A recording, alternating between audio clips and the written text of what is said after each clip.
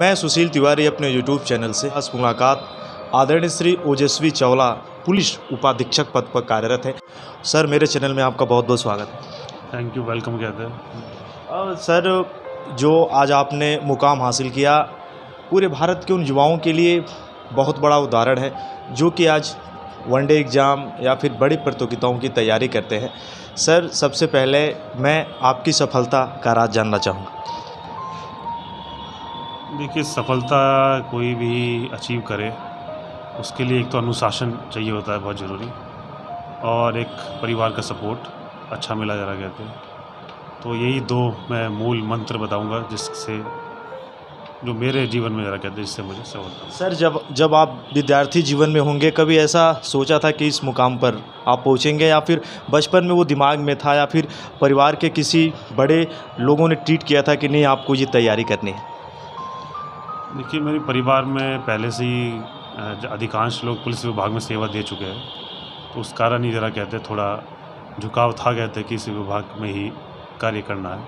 तो इसलिए शुरुआत से ही मतलब थोड़ा लग गए थे इस विभाग में ज़रा करने के लिए। जो बच्चे आज तैयारी करते हैं आ, कुछ नंबरों से चूक जाते हैं या फिर इंटरव्यू में जाते जाते छट जाते हैं। इस मैं इसे हासिल नहीं कर पाऊँगा। देखिए, मैं जो भी प्रतियोगिता परीक्षा हो, कोई भी प्रतियोगी परीक्षा हो, चाहे यूपीएससी हो यूपीपीसीएस हो, या कोई अन्य परीक्षा हो ज़रा कहते हैं, आज के टाइम में आपको ये ध्यान रखना है कहते हैं कि मेनली एक तो आप इंटरनेट का प्रयोग ज़रूर कीजिए। इंटरनेट के प्रयोग करके आप ज़रा कई सारी चीज़ें जो आप बुकों में नहीं ढूंढ पाएँगे कहते हैं, आपको बहुत ही आसानी से कई सवालों के जवाब मिल जाएँगे, तैयारी कैसे करनी है, बाकी जैसे आप यही ले लीजिए।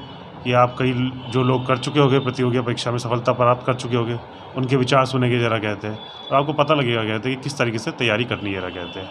तो एक तो इंटरनेट का सही इस्तेमाल कीजिए। दूसरा आप ये कीजिए कि अनुशासन, नियम। ऐसा मत सोचिए कि परीक्षा आएगी तो हम उसके एक महीना पहले या तीन महीने पहले तैयारी करके हम परीक्षा पास कर लेंगे कहते हैं।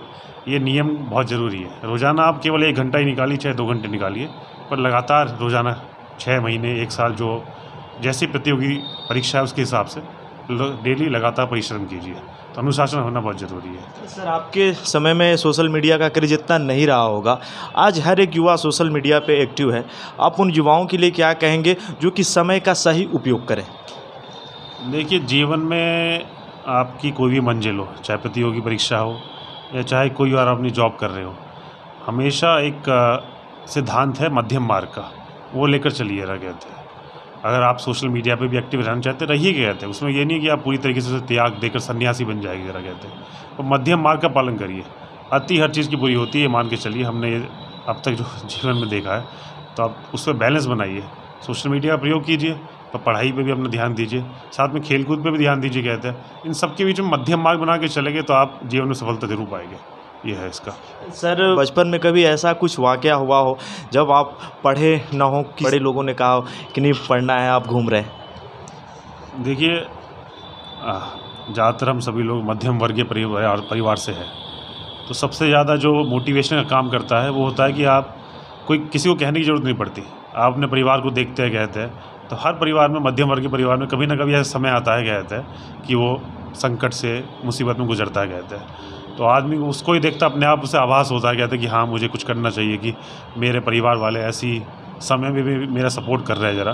तो मुझे कुछ अपने मेहनत करके इनको कुछ मतलब इनके लिए देना चाहिए। वो खुद ही आभास होता है कहते हैं। जिसे कहते हैं ना कि these things can't be taught these are caught from the environment कहते हैं। आप कैच करते हैं चीज़ें कहते हैं। आप देखते हैं कि ये सब कुछ हो रहा है तो आप खुद ही फैसला लेते हैं। और एक बचपन में बचपना होता है, आप खेलते हैं, लड़ाई करते कूदते हैं। पर एक एज के बाद फिर आपको ये समझ आ जाती है अपने परिवार को देख कर सबको देख कर कि आप अपना एक मंजिल, राह पकड़ लेते हैं कि मुझे इस मंजिल पर जाना है।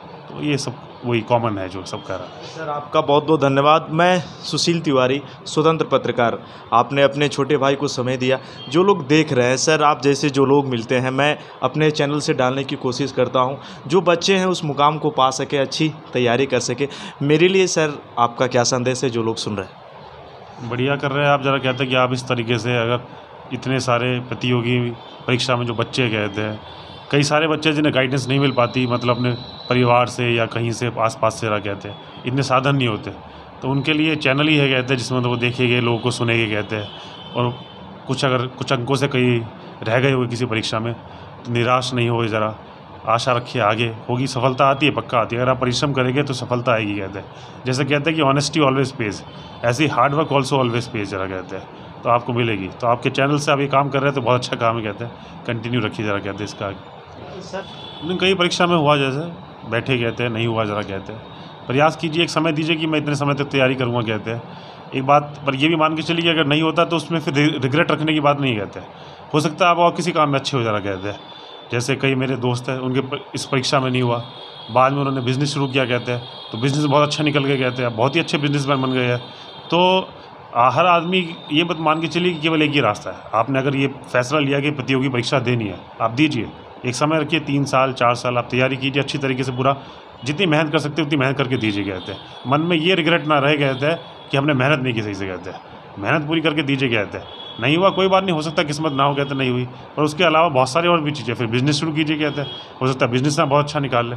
तो हमेशा मतलब यही कहते हैं, कि आप एक ज़िंदगी में, कहते हैं, आप पकड़ लेंगे, कहते हैं। ज़िंदगी में असफलता आना असफलता के बाद फिर सफलता प्राप्त करना यही ज़िंदगी जरा कहते हैं। इस तरीके से आपको जीनी चाहिए मेरे हिसाब से तो यही है। बहुत बड़ी बात कि मैं सुशील तिवारी अपने यूट्यूब चैनल से। मेरे वीडियो को ज़रूर देखिए उन युवाओं के लिए जो भी लोग देख रहे हैं और शेयर करिए। मेरे साथ सुनील यादव जी मैं आपका भी धन्यवाद दूँगा। आदरणीय ओजस्वी चावला सर का मैं इंटरव्यू ले रहा था जो कि पुलिस उपाधीक्षक पद पर कार्यरत है।